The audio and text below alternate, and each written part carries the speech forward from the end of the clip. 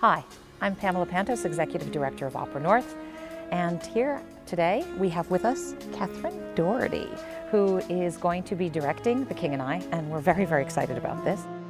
I couldn't be more excited, and I mean that sincerely. Uh, Opera North is an organization that's heading into its 30th anniversary season, and they have been, you have been producing extraordinary opera in the Upper Valley for 30 years, and it's a genre that I've never worked in. And I came to see Cinderella last year, and I was quite blown away by what I saw. You know, I grew up in the era of Beverly Sills, and to see that kind of largesse and that kind of elevation in storytelling. I've, I've not worked with that kind of power before in a voice. And I think a little bit of my background with, I'm a performer as well, with my acting background and my directing background, and being able to take that to the table with the power of those voices, I think it's going to be a terrific marriage. Why The King and I? What do you see there as something that's, that's fascinating you? Because I know you've, you, you really are excited about this piece. So what's, what's you know, exciting there for you? Well, first of all, it's Rodgers and Hammerstein, and you are,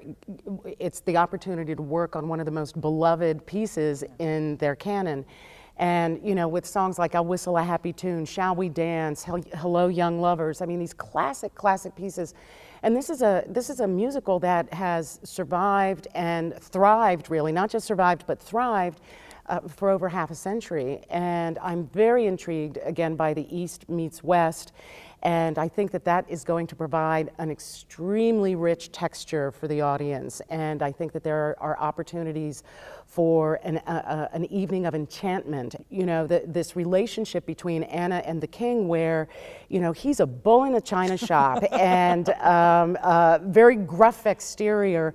But throughout the play, you start to discover, because of Anna, that he really does have a heart. And um, continuing with the, the metaphor of a china shop, she is just this beautiful piece of Tiffany crystal, but she has an iron will and she has a beautiful heart. And so when you start to see uh, the king sort of meeting her in the middle and she's starting to meet him in the middle, it becomes this, we, we were talking earlier, it becomes this love story that can't be a love story because of those two cultures and because of the, where they are in that particular point in, in their lives. When you go into casting, I think whether it's opera or whether it's musical theater or straight play, there is something, there's some quality in that individual that you want to bring to that character character.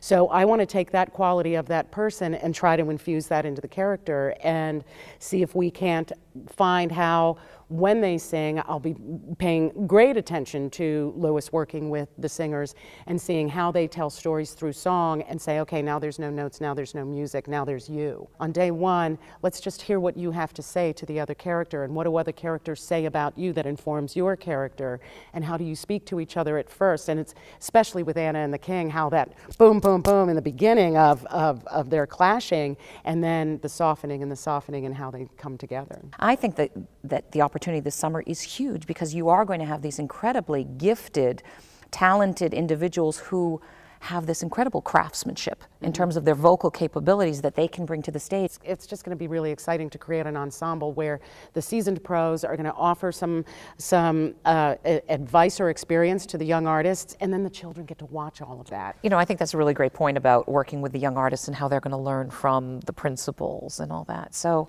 I can only say we are so excited to have you. So. As am I. I'm very, very excited about the process. So thank you for joining us. Happy to be here and anytime. Everyone come and see this phenomenal performance of The King and I.